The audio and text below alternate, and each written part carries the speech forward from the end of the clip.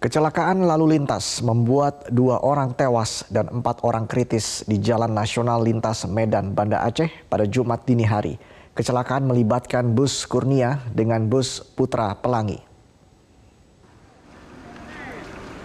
Sebelum kecelakaan terjadi di Desa Matang Supang, Kecamatan Simpang Ulim, Kabupaten Aceh Timur, bus Putra Pelangi melaju dengan kecepatan tinggi dari arah Medan menuju Banda Aceh. Sementara bus Kurnia melaju dari arah berlawanan.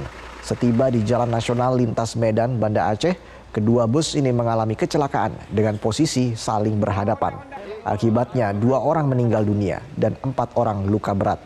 Warga setempat mengatakan kecelakaan tersebut terjadi saat bus Putra Pelangi menyalip mobil bus lain yang berada di depannya dengan mengambil lajur kanan sehingga menabrak mobil bus Kurnia yang melaju dari arah berlawanan.